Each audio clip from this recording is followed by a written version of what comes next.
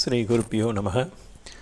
சதாசிவசமாரம்பம் அஸ்மதாச்சாரிய அஸ்மதாச்சாரியபரியந்தாம் வந்தே குரு பரம்பராம் இந்த பதிவில் ஸ்ருங்கேரி ஆச்சாரியர்களுடைய சிஷ்யர்கள் அதாவது நம்மளமான நம்மளை மாதிரி ஆச்சாரியார் மேலே பக்தி உள்ளவர்கள் வாழ்வில் நடந்த சில சுவாரஸ்யமான சம்பவங்களை பற்றி பார்க்க போகிறோம் அதாவது அவங்களுக்கு அவங்களுக்கு ஏற்பட்ட அந்த அனுபவங்கள் அதாவது ஆச்சாரியருடைய அந்த ஆசீர்வாதங்கள் எப்படி அவளுக்கு ஒரு உறுதுணையாக இருந்தது அப்படிங்கிறத பற்றி பார்க்க போகிறோம் ஸோ ஒருத்தர் இருந்தார். அவளும் அவளுடைய ஃப்ரெண்டும் ஒரு அதாவது அவள் வந்து ஒரு லேடி அவள் வந்து ஒரு கல்யாணத்தில் கலந்துக்கிறதுக்காக ஹரித்வாருக்கு போகிறாங்க அவங்க போகிறதுக்கு முன்னாடி இந்த பயணம் நல்லா அமைதியாக முடியணும். எந்த பிரச்சனையும் இருக்கக்கூடாதுன்னு ஆச்சாரியர்கள் எப்போதும் நமக்கு உறுதுணையாக இருக்கணும்னு இது ஒரு மறக்க முடியாத பயணமாக இருக்கணும்னு என்ற பிரார்த்தனையோட அவள் பயணத்தை தொடர்ந்தான் அவளுடைய பிரார்த்தனைக்கு எப்படி பதில் கிடைச்சிதுங்கிறது பார்க்கலாம். ஒரு அவர் அந்த பயணத்தும் போது டேராடூனுக்கு போகிறா அங்கே போயிட்டு ஹரித்வாரில் தரிசனம் முடிச்சுட்டு டேராடூனுக்கு விமானம் மூலமாக சென்னைக்கு திரும்ப வரலாங்கிறது அவள் பிளான் பண்ணியிருந்தா. அந்த அந்த அவளோட அந்த ஸ்கூல் ஃப்ரெண்ட் ஒரு நரசிம்மருடைய தீவிர பக்தர். அவள் வந்து காரில் ஒரு மலை மேலேருந்து கீழே வந்துட்டுருக்கா ஒரு டிரைவர் அவள் எல்லாம் வந்துட்டுருக்கா அப்போ திடீர்னு என்னாச்சுன்னா டிரைவர் பிரேக் போட ட்ரை பண்ணுறார் பிரேக் போட முடியல.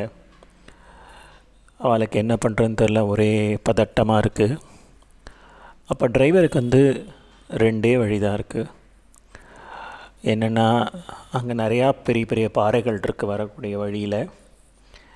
அந்த பாறை மேலே மோதி அந்த காரை ஸ்டாப் பண்ணுறது அல்லதுன்னா அங்கே இருக்கிற ஏதாவது பள்ளத்தில் விழுந்து நிறுத்துறது. ஆனால் பள்ளத்தில் விழுந்தால் எந்த ஒரு உயிருக்கு எந்த உத்தரவும் ஆகல. அதே மாதிரி பாறை மேத மேலே மோதினாலும் உயிருக்கு ஒரு எந்த ஒரு உத்தரவாதமும் உத்தரவாதமும் இல்லை. சரி ஏதாவது ஒன்று பண்ணுவோன்னு சொல்லி அவர் என்ன பண்ணுறாருன்னா அந்த காரை கொண்டு போய் சட்டுன்னு யோசித்து அந்த காரை கொண்டு போய் வேகமாக அங்கே இருக்கிற பாறை மேலே மோதுறாரு. உடனே கார் அந்த பாறை மேலே மோதி தலை குப்புற ஒரு உருண்டு அப்படியே விழுந்து கிடக்கு. ஆல்மோஸ்ட் அது ஒரு பள்ளத்தாக்கு கிட்ட விழுற இடத்துல இருக்குது ஆனால் கொஞ்சம் சேஃபான இடத்துல தான் இருக்குது இந்த இடம் இந்த விபத்து நடந்த இடம் பார்த்தோன்னா ஒரு நரசிம்மர் கோயிலோட முன்னாடி. அங்கேருந்து பக்கத்துலேயே ஒரு நரசிம்மர் கோயில் இருக்குது அதுக்கு முன்னாடி அந்த விபத்து நடந்திருக்கு. அப்போ வந்து பார்த்தா யாரோ அந்த கார் மேலே இருக்கக்கூடிய அந்த அந்த மேலே யாரோ தட்டுற மாதிரி இருக்குது அந்த கார் ஏதோ விழாமல் அதை பிடிச்சிட்டு இருக்க மாதிரி யாரோ இருக்க மாதிரி ஒரு ஒரு அவளுக்கு தோன்றுறது. ஆனால் யார் இருக்கான்னு அவளுக்கு தெரியல. யாரோ கார் மேலேருந்து பயங்கரமாக தட்டுற மாதிரி அவளுக்கு சத்தம் கேட்குறது.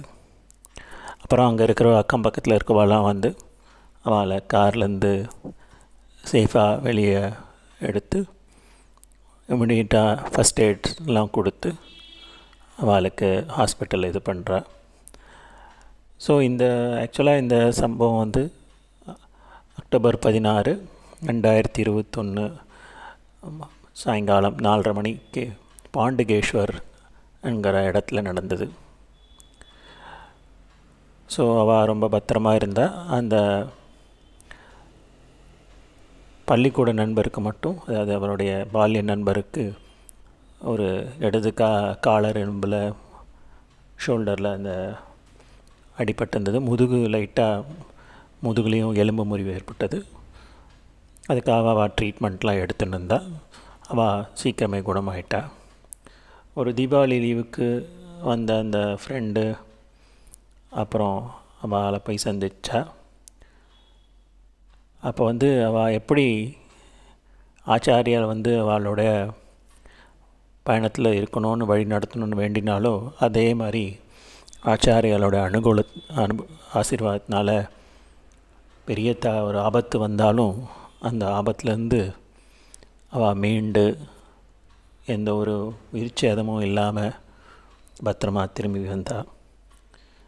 ஸோ இதிலேருந்து பார்த்தோன்னா ஆச்சாரியால் மேலே சிங்கேரி ஆச்சாரியால் மேலே தி- உண்மையான பக்தி இருக்கோ அவள் எப்போதுமே ஆச்சாரியால் துணையாக இருக்கான்னு தெரியறது அது மட்டும் இல்லாமல் எப்போதுமே நம்மளுடைய இஷ்ட தெய்வம் நரசிம்மராகட்டும் அனுமாராகட்டும் பெருமாளாகட்டும் எந்த ஒரு இஷ்ட தெய்வம் அந்த இஷ்ட தெய்வத்து மேலே நம்ம ஒரு ஒரு மாறாத பக்தி வச்சுன்னு இருக்கும்போது அந்த இஷ்ட தெய்வம் நம்ம கூடயே இருந்து நம்மளை ரட்சிக்கிறதுங்கிறது தெரியறது.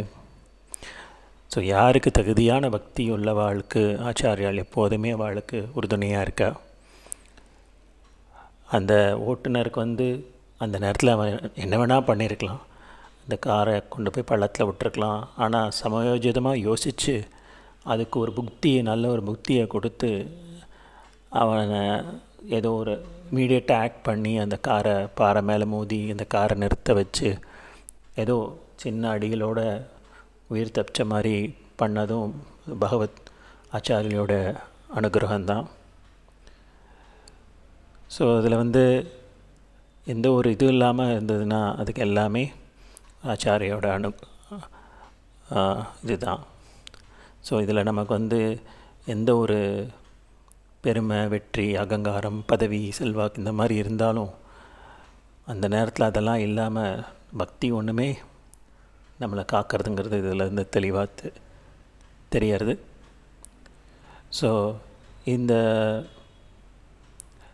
இந்த அனுபவத்தை ஒருத்தர் சிஷ்ய பகிர்ந்துட்டா அதை வந்து பல அதை பல நூல்களிலையும் வந்திருக்கு பல மேகசின்லேயும் வந்திருக்கு.